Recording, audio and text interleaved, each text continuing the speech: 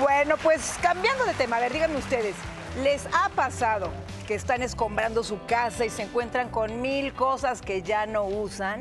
¿Qué hacen? ¿Las tiran, las regalan, las vuelven a guardar? Porque dicen, ay no, esto sí, esto no, esto sí.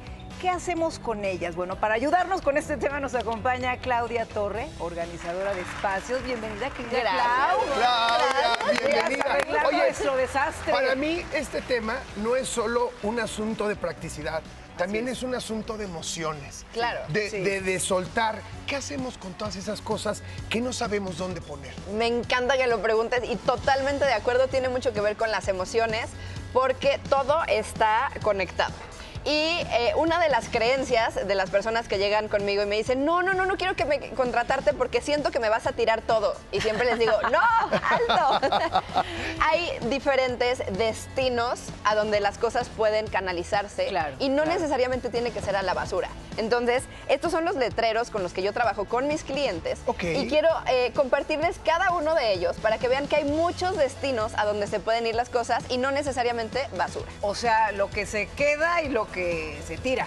Exactamente. A ver, a ver, el primero. El primero son las cosas que realmente quieres conservar porque son cosas que amas, usas, necesitas y te hacen feliz. ¿Qué? Ok. Eso es lo que queremos lograr en todas tus cosas. ¿Qué estamos viendo? Ah, ok. Ahí Sí, es un letrero de las cosas ta, que se quedan. Exactamente. Ahora, hay otros libros. destinos a donde se pueden ir. A mí algo que me fascina es la donación. Son cosas que están en buen estado, que a ti tal vez ya no te sirven. Claro, y además incluso hay cosas que puedes amar, pero que ya no tienen un espacio, que significan algo del pasado, de lo que te tienes que desprender. Pero si tienes un sentimiento, dónalo. Haz feliz Sí, a alguien razón, que sí lo pueda razón. utilizar. Porque duele mucho, ¿no? De pronto Sí. desapegarte, pero esa es la mejor Cuando forma, sabes que va a cambiar vidas y cuando sabes que le va a hacer una diferencia a otra persona, ya no duele tanto. Entonces es, hay es que cierto. siempre pensar en eso para la donación. ¿Qué Ahora, sigue?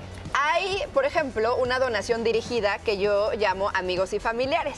Es decir, si yo digo, no, bueno, esto no lo quiero donar a alguien en general, pero sí específicamente a mi prima porque le va a servir y le queda muy bien o le va muy bien con sus ojos, etcétera, eso es amigos y familiares y lo canalizas directamente para que no te duela soltarlo y además Claro. haces feliz a algún familiar. ¿Sabes yo que tenía un problema con los tenis? Te- este, tenía una acumulación de tenis bárbara, incluso tenía muchos nuevos. ¿Sabes qué pasó? Que los tuve tantos años que le quedan ya a mi hijo. Ah, y entonces se los ha empezado a llevar mi hijo y pues me da muchísima No, pues alegría. ahorita, claro, obviamente. perfecto, les quedan, porque son, ¿no? Eh, de retro, aparte. Exacto. Oye, a ver, el que sigue, ¿cuál sería? El que sigue es venta. Hay cosas que te costaron mucho, ya no las usas, pero le quieres sacar algo de provecho. Entonces, pues lo puedes vender. Puede ser eh, artículos de segunda mano, puede ser en alguna app que, que exista, o en- casi casi en el tianguis, en alguna venta de garage.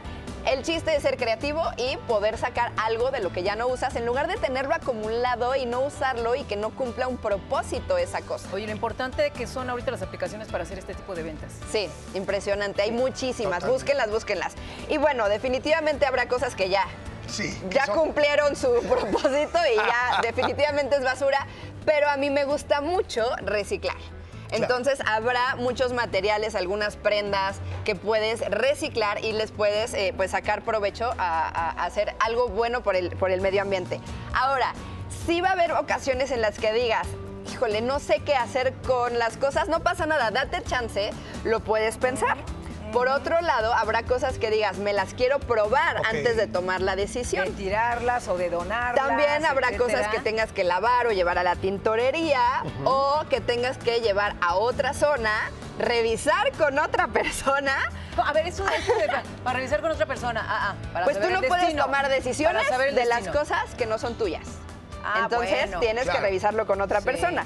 Y habrá cosas que necesites arreglar o que sea un proyecto de algo que tengas, por ejemplo, que hacer un álbum de fotos o algo así. Y la última y la más Esa importante. quería- queremos saber, ¿qué es la caja de tesoros? La caja de tesoros son solo eh, cosas que no usas, no necesitas, pero tienes tanto, tanto amor y tanto cariño que las quieres conservar y se vale, porque todos tenemos nuestro corazón. Ah, eso sí. Ay, mi Clau. Gracias. ¿Sabes en Eres verdad. necesario Sí. en la vida de todos. Sí, De verdad. Gracias. Gracias a ti, ya. Por tus maravillosos consejos.